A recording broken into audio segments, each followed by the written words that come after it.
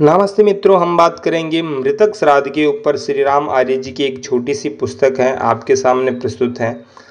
मृतक श्राद्ध पर 21 प्रश्न उठाए उन्होंने। अगर ये पुस्तक आपको चाहिए तो आप अमर स्वामी प्रकाशन से ले सकते हैं। बहुत अच्छी पुस्तकें छापते हैं, बहुत ज़बरदस्त छोटी छोटी पुस्तकें आप मंगवा सकते हैं।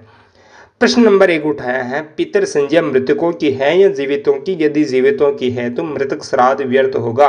यदि मृतकों की है तो यजुर्वेद के यहाँ पर तीन प्रमाण दिए गए हैं।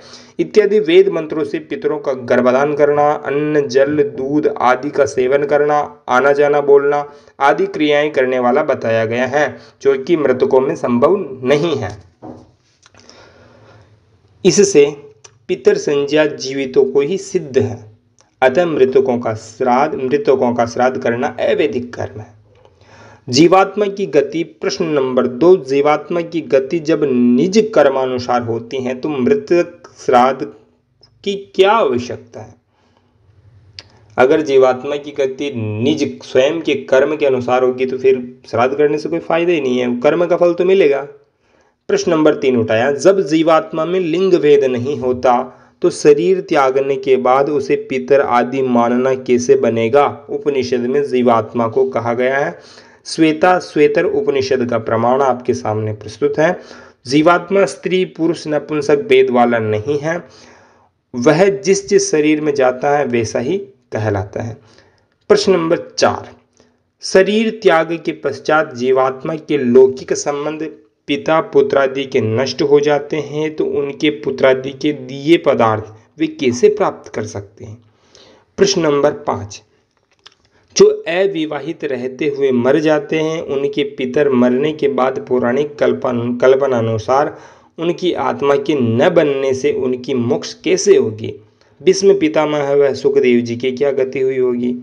जिनका वंश नाश हो जाता है, क्या वे पितर भूखे ही मरते हैं? यदि हाँ तो क्यों? ये प्रश्न नंबर छः उठाया इन्होंने, सातवां प्रश्न उठाया। किन जीवों का पुनर्जन्म होता है? किन का नहीं है? नहीं होता है। किन की मोक्ष हो जाती हैं, इसका पता लगाने का क्या साधन आपके पास है? और बिना पता लगाए मृतक का श्राद्ध करना निरर्थक क्यों नहीं है? प्रश्न नंबर आठ। मरने पर स्थूल शरीर नष्ट हो जाता है। सूक्ष्म शरीर को भूख प्यास से कोई संबंध नहीं होता है। न उसे भोजनादि का ग्रहण होता है। तब आपके पितर भोजन कैसे करते हैं? श्राद्ध में जो पदार्थ दिया जाता है, वह पुनर्जन्म प्राप्त जीवों की योनियों में स्वाभाविक भोजन के अनुकूल न हो तो श्राद्ध से क्या लाभ होगा? यदि एक पुरुष के चार बेटे, चार दुरस्त नगरों में एक ही दिन, एक ही समय उनका श्राद्ध करे तो उनकी आत्मा चारों स्थानों पर श्राद्ध ग्रहण करने व खाने को कैसे जा सकेगी? क्योंकि एक देशीय जीव इस समय एक समय एक ही स्थान पर विद्यमान हो सकता है। श्राद्ध का अधिकार सभी जातियों को क्यों नहीं है? जिन जातियों को श्राद्ध का अधिकार नहीं होता, उनके पितर तो भूखे ही मरते होंगे, या दूसरों का माल छीन कर खाते होंगे। उस दशा में उनके झगड़े, फिसाद की शांति कौन कैसे करता होगा? मरने के बाद भी जीवों में ऊंच नीच का भेद कायम रहना आप क्यों नहीं, आप क्यों मानते हैं? प्रश्न नंबर तेरह। मरने के बाद लापता जीवात्माओं के पास पंडित जी का श्राद्ध का माल टाल पहुँचा देते हैं, इसका प्रमाण क्या है? जब लापता शरीर विहीन जीवात्माओं के पास आप माल पहुँचा मानते हैं पहुंचाना मानते हैं तो परदेश गए लोगों के नाम पर भोजन की थाल भी क्यों नहीं पहुंचाकर? उन्हें भूख प्यास से तृप्त कर देते हैं। कौवों और पितरों का श्राद्ध से क्या संबंध है? जो श्राद्ध में कौवे को भोजन कराया जाता है, क्या वे पितरों के प्रतिनिधि हैं? वर्षा ऋतु में, वर्षा ऋतु में क्वार में तथा जब नदी तालाब में सर्वत्र जल भरा रहता है, आकाश में बादल, पानी लिए खड़े रहते हैं तो जलदान पितरों को करने की क्या आवश्यकता? है ग्रीष्म की प्रचंड गर्मी में ज्येष्ठ बैसाख में जलदान क्यों नहीं किया जाता? जबकि पानी की सभी को सख्त ज़रूरत होती वर्ष भर में केवल एक बार खिला करके पितरों को साल भर के लिए भूखा मारना और अपना पेट दिन में तीन बार रोज़ाना भर पेट भोजन करते रहन, करते, करके भर रहना अपने बुज़ुर्ग पितरों के साथ निकृष्टतम मज़ाक नहीं है क्या? खुद खावे और पितरों को भूखा मारे क्या पितरों का हाजमा इतना खराब होता है कि एक बार खाकर साल भर तक उनके हजम भी नहीं करवाते? प्रश्न नंबर अठारह। महाभारत अनुशासन पर्व अध्याय नंबर बत्तीस में लिखा है कि चिकित्सक मंदिर का पुजारी दूध बेचने वाला, गायत्री जाप तथा संध्या करने वाला, वेतन लेकर पढ़ाने वाला इन ब्राह्मणों को यज्ञ दान व श्राद्ध में नहीं बुलाना चाहिए।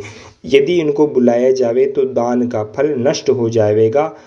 तथा यज्ञदान व श्राद्ध करने वाले के पितर घोर नरक में जाते हैं। यह प्रश्न यह है कि उपरोक्त कर्म करना, पुराण पढ़ना, आप भी महापाप कर्म है? जो वैसा करने वाले की महापापी माना है तो इनको श्राद्धादि में बुलाने का पाप तो श्राद्धकर्ता द्वारा किया जाता है। तो उनके कर्म का फल स्वयं बिना किए पितरों को क्यों भोगना पड़ता है? जबकि महाभारत वन पर्व अध्याय नंबर, श्लोक नंबर, गीता प्रेस में आपके सामने प्रमाण दिया है। ये श्लोक और ये अध्याय है। श्लोक है, इसका अर्थ लिखते हैं। एक शरीर त्याग कर दूसरे शरीर को जीव तक्षण ग्रहण तत्क्षण ग्रहण कर लेता है। वह बिना स्थूल शरीर के आश्रय, बिना एक क्षण भी नहीं रहता। गीता अध्याय नंबर दो, श्लोक नंबर बाईस ने जीव के तुरंत पुनर्जन्म की पुष्टि की है। तब पुनर्जन्म प्राप्त जीवों के लिए श्राद्ध करना मिथ्या कर्म क्यों नहीं है? क्योंकि प्रत्यक्ष में जन्मे हुए बालक, बालकों तथा बड़ों को किसी को भी उनके पूर्व जन्म के स्थान में स्थान में दिया हुआ श्राद्ध पदार्थ नहीं पहुँचता। बतावे कि पितर से तात्पर्य आपका जीवात्मा से है या शरीर से है?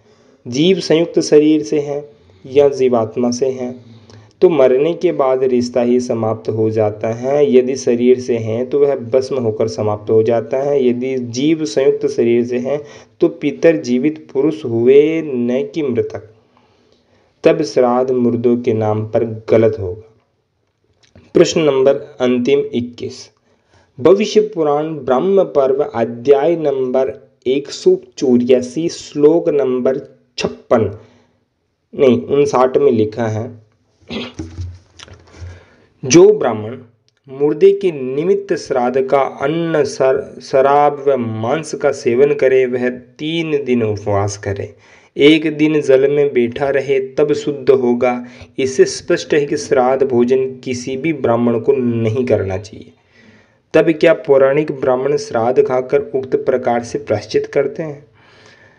उपरोक्त प्रश्नों को यथोचित सप्रमाण उत्तर देने वाले सज्जनों को उचित इनाम दिया जाएगा। लाजपत राय जी अग्रवाल, अमर स्वामी प्रकाशन से हैं। इनके फ़ोन नंबर ये आपके सामने नीचे हैं। आप इनको कॉल करके इन प्रश्नों का उत्तर दे दीजिए और आप अपना उचित इनाम ले जाइए। आपका अपना यूट्यूब चैनल है।